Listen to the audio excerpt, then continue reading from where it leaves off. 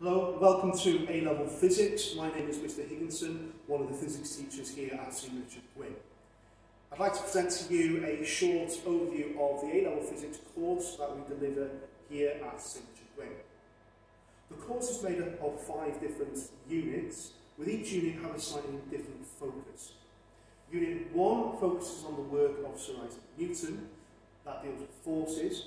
Unit 2 deals with the work by um, Joseph Thomson and George Thomson, and their work focuses primarily on the electron and the electron behaving as a wave.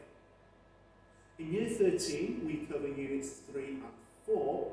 Unit 3 focuses in on nuclear physics and the work done by Sir uh, by Einstein, as well as Hsien Chung Wu, who was part of the Manhattan Project in the 1930s and 1940s.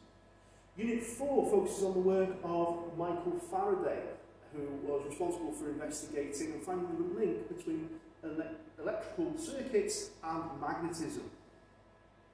Unit 5 is a practical unit where we look to develop a student's practical skills as well as introducing that person to new problem solving techniques as well as analysis techniques.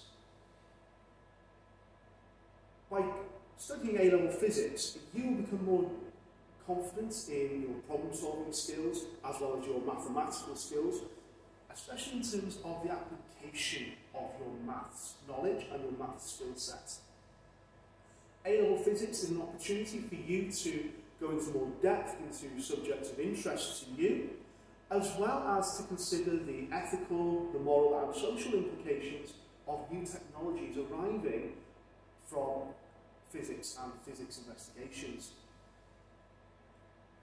A-level physics is also a well sought after qualification to move you forward in your career prospects.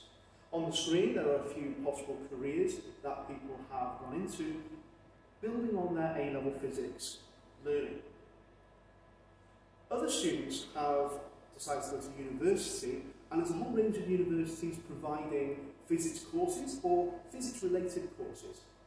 On the screen, there's a few universities where our previous students have gone to, including Oxford and Cambridge, and some of the courses that they have chosen to study. I hope you found this of use and I look forward to meeting you in September.